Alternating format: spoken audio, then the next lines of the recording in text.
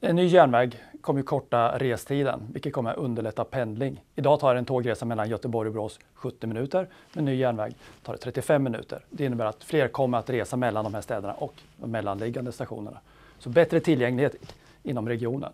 Vi kommer också få bättre internationell tillgänglighet. Den här tågförbindelsen till Landvetter flygplats gör att Landvetters upptagningsområde ökar. Och när upptagningsområdet ökar så blir det fler direktlinjer till och från destinationer ute i Europa. Bra för våra internationellt verksamma företag.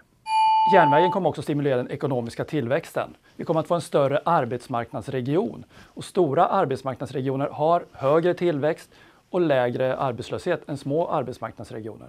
Så den här järnvägen bidrar till ekonomisk tillväxt.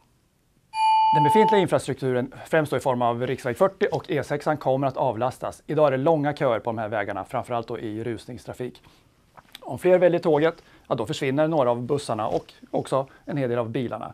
Mer plats för de som verkligen behöver nyttja de här vägarna. Och det är såklart också bra för miljön. Då.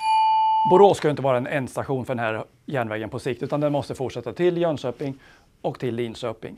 Då kommer vi knyta ihop hela södra Sverige till en enda stor arbetsmarknadsregion. Och vi kommer också att avlasta de befintliga järnvägarna som Västra stambanan när det blir en alternativ järnväg mellan Stockholm och Göteborg. Sammanfattningsvis, då, den nya järnvägen blir en viktig motor för ekonomisk tillväxt. Den investering, inte bara i Västsveriges framtid, utan i Sveriges framtid.